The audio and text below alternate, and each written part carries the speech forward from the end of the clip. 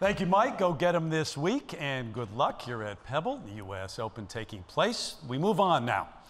She is a champion golfer who won all over the world, including three different major championships. She was a trailblazer who helped push the LPGA to a new audience and today remains a champion for charity, tirelessly advocating for those in need and earning recognition in the United States, for Native Australia as well, for all of her philanthropic efforts. Here is the award winning actress, Jane Seymour, to tell us a little bit more about Lady Jan Stephenson.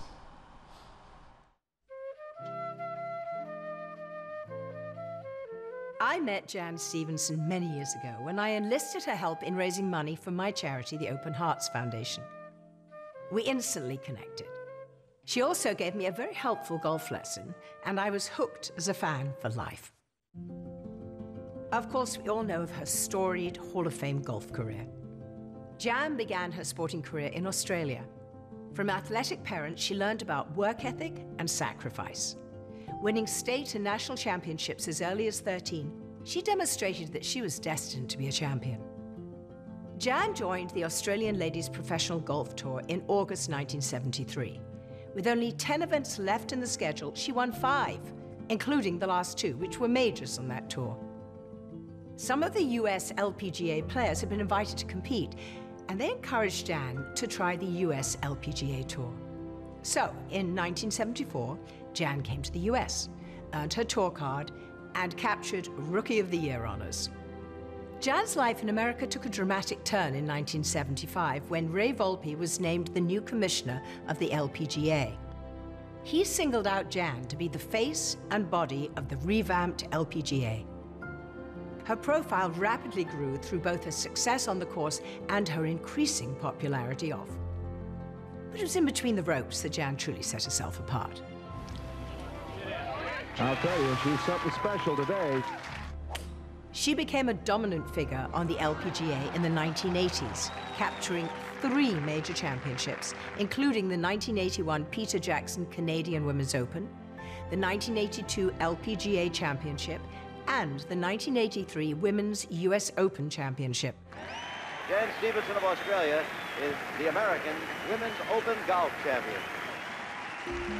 A true international star, Jan counts wins on five different continents among her more than 25 career victories. Looks good. got it. Dead center. Oh. What I've always admired most about Jan is her incredible work ethic. She now has transformed the dedication she had for golf to her wine and spirits business. But it's her work with charity, however, that is truly inspiring. With her business partners, Diane and Michael Vandiver, they started the Jan Stephenson's Crossroads Foundation, providing assistance to veterans and first responders at their Purple Heart Golf Course in Florida. Jan, I am so sorry I'm not able to be there with you today to celebrate this great achievement, but I know that I am honored to call you my friend, and I look forward to celebrating with you and this well deserved honor of being a member of the World Golf Hall of Fame. Here to present Jan Stephenson for induction, please welcome Hall of Fame member Hollis Stacy.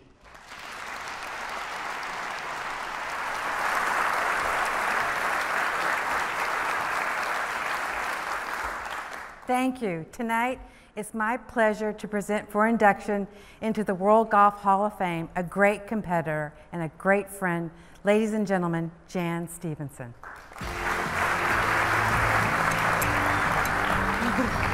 I love you. I love you. I love you. Here you go. I'm holding it. okay, let's get some pictures.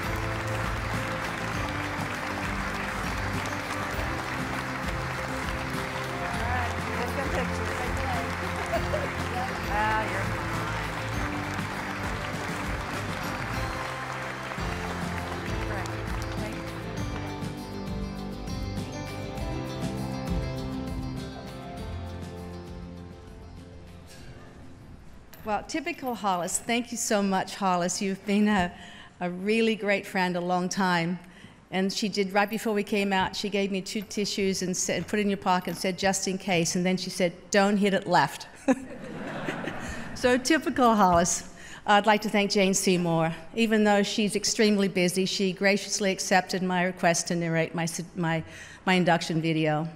What a wonderful role model for women and a dear friend she is. I'm sorry that she has to be in Europe at this time, but she's got a really good movie she's doing, so I'm happy for her. Looking around the room, I so, see so many people that have helped me and supported me over the years. It is amazing to see friends from all walks of life and from all kinds of places be here because of the incredible game of golf. So, to all my friends and family, thank you for your support, and please know that you're truly appreciated. First, I want to thank my brother Gregory and my sister in law Cherie for traveling from Australia to share this moment. Family is an important part of any success, and certainly mine is no exception. Every weekend growing up, my parents would take us to our weekend about 60k north of Sydney. We were supposed to be going to the movies on Saturday afternoons while our parents played this new fantastic sport called golf. Instead, we would sneak up to Tiger Lakes Golf Club and I would emulate golf swings and collect golf balls. And my brother would catch poisonous snakes and we'd sell the venom to the local reptile park. Once we were found out, we were, allowed to start, we were allowed to start playing golf. I fell in love with the sport right away, while Greg, and I'd play all the time, while Greg would kind of split his time between surfing and golf. My parents were dedicated to seeing me succeed. Dad worked night shifts just so he could take me to golf before school and after school. And mum worked two jobs one as a bookkeeper and then in a, in a dress factory just so she could make my golf outfits, outfits at night. I found success in my native land, winning many amateur events, and then when I turned pro in 1973, I won the Australian Ladies Open and the ALPG Championship before coming to US. I was Rookie of the Year in honors in 1974, and then the new commissioner, Ray Volpe, in 1975 changed my life and that of the LPGA also. He asked me to be the face of the LPGA and lined up meetings with potential sponsors. Consequently, we signed many multi year contracts to, support, to sponsor LPGA tournaments. He also introduced a fashion magazine that would be inserted into tournament programs and started marketing the LPGA with sex appeal. I was front and center, resulting in a lot of controversy. These were tumultuous, tumultuous and exciting times, and it certainly launched my career in a slightly different direction than I perhaps had imagined. As exciting as things were on the, off, on, off the golf course for me, where I was doing national television and being seen with famous celebrities, it was just exciting on the golf course. My parents were a permanent fixture with me on tour through the summers of 70s and 80s, and I found success winning tournaments around the world, including two of my US LPG, three LPGA majors with my dad on the bag. In 1987, I was living the dream life when I was involved in a car accident. I was feeling really confident after winning the previous week, and I had a lead by five with one round to go. However, my ribs were broken, and the head injuries were such that I had to stay in the hospital and miss the last round. I was desperate to get back to playing, and instead of allowing my ribs time to heal, I had myself taped up every day and I went back out on tour. Seeing I hadn't had much success playing that way, I took Jack Nicklaus's advice and stopped playing until I was pain free. I returned to win the last two tournaments of the year, so thanks, Jack. Fellow Hall of Famer, that sounds so exciting. um, I thought 1988 was going to be the, the year I really got back on track, but fate had another different plan for me. My father was diagnosed with cancer and passed away that December. Losing him was very difficult for me, and the pain was compounded the following year when my longtime caddy, Rick White, passed away with cancer. After spending a year in, in limbo of mourning, I was ready to get back to it.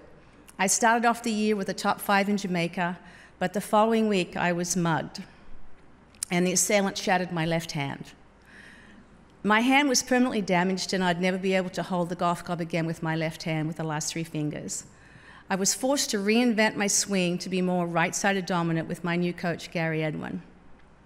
And as I look back on my career, though, more than the wins and the fame, what stands out most to me are the remarkable women I had the opportunity to compete with and get to know and call my friends. I consider myself lucky to have played in, in some of the most amazing times, even playing with some of our founders, Marilyn Smith, Patty Berg, Louise Suggs, Alice Bauer, and Marlene Hagge.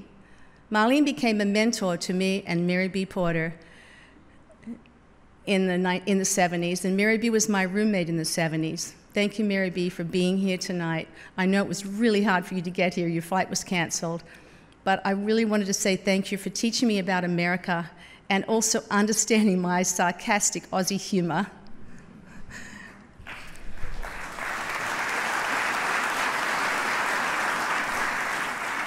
In my opinion, I was part of the most colorful and competitive eras in LPGA history during the 80s and 90s.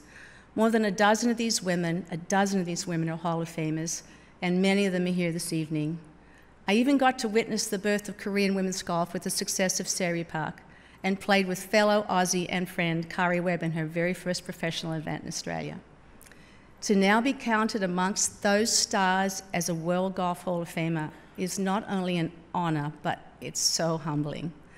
They have all represented their craft so admirably. With my competitive career changing, I shifted my focus to some of my other passions. Having worked with Pete and Alice Dye, I started a golf course design business and designed and built several golf courses. Wanting to satisfy our competitive spirits, Hollis Stacy, Jane Blalock, Sally Little, and myself started the Women's Senior Golf Tour, which is now our Legends Tour. Congrats to fellow Hall of Famer Juli Inkster for winning last week on the Legends Tour. And speaking of spirits, one of my biggest passions these days is working on my wine and spirits business. I would like to thank my talented Aussie winemaker and his wife, Chris and Ursula Cameron, for teaching me so much and for being here today.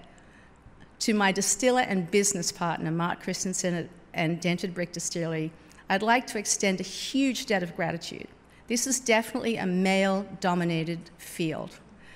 However, Mark has allowed me to have a big influence in our company's direction.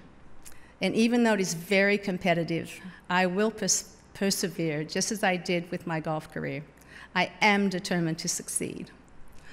Perhaps most special to me, though, is the Jan Stephenson Crossroads Foundation that I started with Diane and Michael Van Diver. Thank you for everything.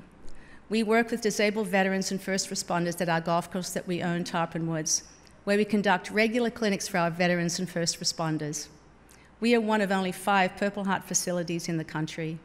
The Special Operations Command at MacDill Air Force Base have become like family to me. I would like to recognize at this time General Tony Thomas, Colonel Kerry Harbaugh, his wife, Lieutenant Colonel Danny Harbaugh, that have traveled out to share my day.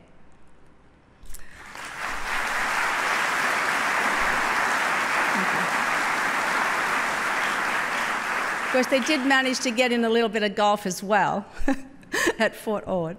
Also, there is a young lady here today that makes you feel really good about the future of our country. She is on the golf team and a cadet at the Citadel and a future officer, Jessie Harbaugh.